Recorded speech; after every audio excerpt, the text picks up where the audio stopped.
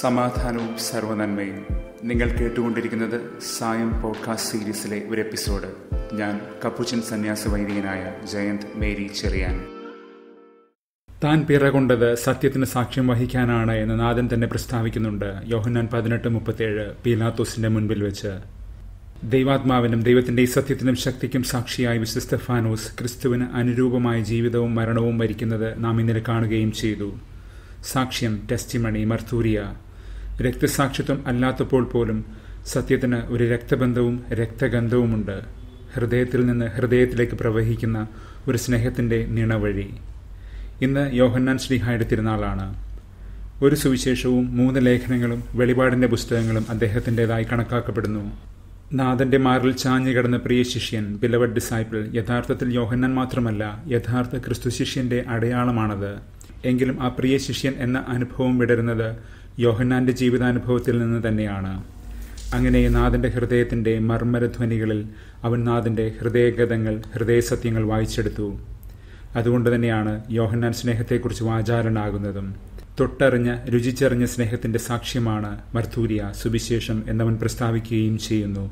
ഒന്ന് യോഹന്നാൻ ഒന്ന്. അലക്സാൻഡ്രിയയിലെ വിശുദ്ധ ക്ലമന്റ് പറയുമായിരുന്നു യോഹന്നാൻ തന്റെ അനുയായികളെ സ്നേഹം സ്നേഹമെന്ന് ആവർത്തിച്ച് പഠിപ്പിച്ചുകൊണ്ടിരുന്നു. ഒരുപക്ഷെ അവർക്ക് മടുപ്പ് തോന്നുവോളമെന്ന്. ഏകതാനം മോണോട്ടോണിയിൽ നിന്ന് മടുപ്പ് ഉളവാകുമല്ലോ.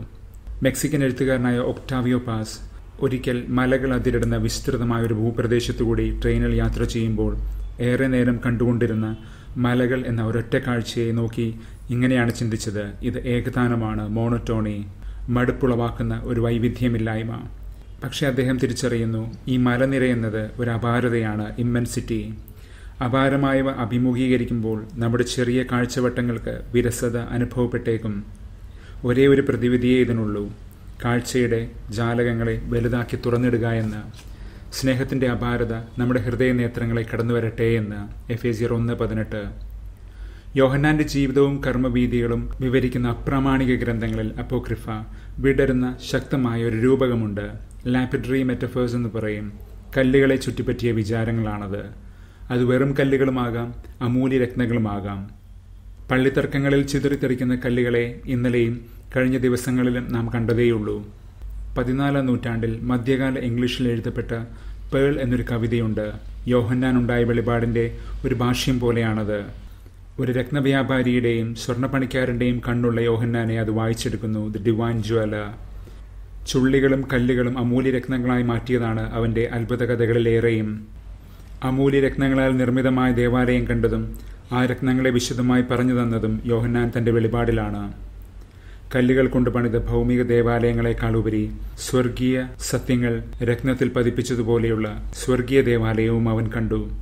സാധാരണ ജീവിത സാഹചര്യങ്ങളും ഭൗതിക വസ്തുക്കൾ പോലും ദൈവസൃഷ്ടിയുടെ സുവർണ സൗന്ദര്യവും രക്തത്തിളക്കവുമായി കൺമിഴിവുള്ള തട്ടാന്റെ നോട്ടത്തോടെ അവൻ വായിച്ചെടുത്തു. എല്ലാത്തിന്റെയും തങ്കത്തനിമകളെ കാണുന്നവൻ. ഈ ദൃഷ്ടികൂർമ്മത കൊണ്ട് തന്നെയാണ് അവൻ സ്വർഗീയ രഹസ്യങ്ങളുടെ ആഴം കണ്ട കഴുകൻ എന്ന സങ്കല്പത്തിൽ കൊണ്ടുചെന്നെത്തിക്കുന്നത് ദൃഷ്ടികൂർമ്മതയും മാനുഷികതയുടെ ആഴവും സന്നിവേശിപ്പിച്ചവനാണ് Yohannan keen sighted and generously humane വളരെ ഭൗതികമായതിൽ നിന്ന് സ്വർഗീയമായവയിലേക്കും വെറും കല്ലുകളിൽ നിന്ന് അമർത്യമായ ആത്മാവിലേക്കും അവൻ അനായാസം ചരിച്ചുകൊണ്ടിരുന്നു. കാരണം അവൻ അത്രമേൽ ദൈവബന്ധിതനായിരുന്നു.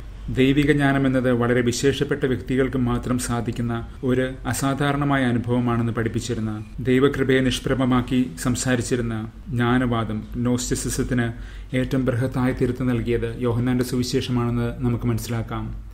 ദൈവത്തെ എല്ലാവരും അറിയാൻ ദൈവം തിരുമനസ്സാകുന്നു എന്നും ആഗ്രഹിക്കുന്നുവെന്നും അതിനായി നമ്മെ സമൃദ്ധമായി കൃപ കൊണ്ട് പൊതിയുന്നുവെന്നും പഠിപ്പിച്ച ദൈവത്തിന്റെ മനുഷ്യാവതാര സൂത്രമാണ് ഈ സുവിശേഷം. വചനം ലോഗോസിൽ അടിമുടി മുങ്ങി നിൽക്കുന്ന സുവിശേഷമാണത്. കുരിശിൻ ചുവട്ടിൽ മറിയത്തോടൊപ്പം നിന്ന ശ്രീഹ സഭയുടെ മുളപൊട്ടൽ തന്നെയാണ് മറിയത്തോടൊപ്പം.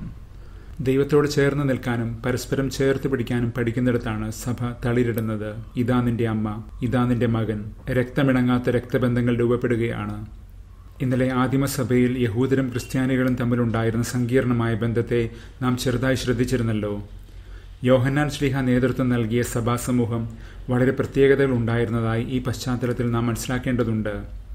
ക്രിസ്തു ദൈവമായ മിശിഹ ആകുന്നുവെന്ന് തന്റെ സഹയഹൂദരെ പഠിപ്പിക്കാൻ ശ്ലീഹ രചിച്ചതാണ് ഈ സുവിശേഷം. യഹൂദ സിനഗോഗുകളിൽ അങ്ങനെ ഹൃദയത്തിൽ നിന്ന് ഹൃദയത്തിലേക്ക് ഇറങ്ങിയ സ്നേഹശീലുകളും സ്നേഹശീലങ്ങളുമായി അത് മാറി. സാഹചര്യങ്ങൾ അനുവദിക്കാത്തതുകൊണ്ട് തങ്ങളുടെ ക്രിസ്തീയ ഭാവങ്ങൾ ഒളിപ്പിച്ചു വെച്ച് സിനഗോഗിൽ യഹൂദർ അവനെ ശ്രദ്ധാപൂർവം കേട്ടിരുന്നു. ക്രിസ്ത്യൻ ജ്യൂസ് എന്നവർ അറിയപ്പെട്ടു. ക്രിപ്റ്റോ ക്രിസ്ത്യൻസ് ഗുപ്ത ക്രിസ്ത്യാനികൾ. പിന്നീട് നാഥനെ അവർ ആഞ്ഞു പുണർന്നപ്പോൾ അവർ യഹൂദ ക്രിസ്ത്യാനികളായി മാറി. ജൂവിഷ് ക്രിസ്ത്യൻസ് അങ്ങനെ സഭാ വളർച്ചയുടെ നാൾ വഴികൾ കൂടിയാണ് യോഹന്നാന്റെ കൃതികൾ. ജെറുസലേമാണോ ഗെരിസീമാണോ മുൻപിൽ എന്നൊരു യഹൂദ സംബന്ധിയായ പള്ളിത്തർക്കത്തിൽ നാഥന്റെ വാക്കുകൾ യോഹന്നാൻ കുറിച്ചിട്ടത് ഇന്ന് പ്രസക്തമായി ഓർമ്മിപ്പിക്കട്ടെ. ആ മലയിലും ഈ മലയിലുമല്ല. ദൈവത്തെ ആത്മാവിലും സത്യത്തിലും ആരാധിക്കുന്ന സമയം വരുന്നു. യോഹന്നാൻ നാല് ഇരുപത്തൊന്ന് മുതൽ. ആ മലയും ഈ മലയുമല്ല. ദൈവത്തിന്റെ അപാരമല.